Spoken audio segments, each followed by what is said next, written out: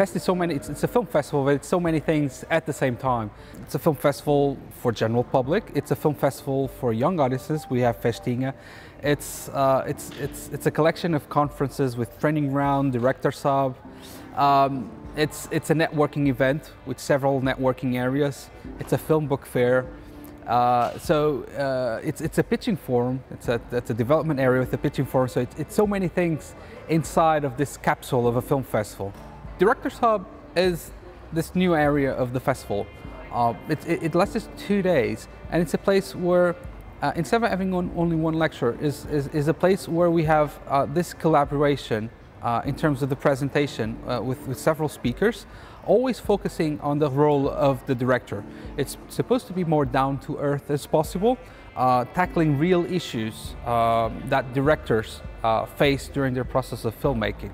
Pitching Forum is one of our oldest events inside of the festival.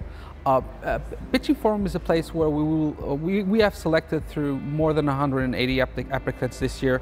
Uh, we have selected 24 projects like we do every year. Uh, 14 feature film projects, 7 documentary and 7 short films.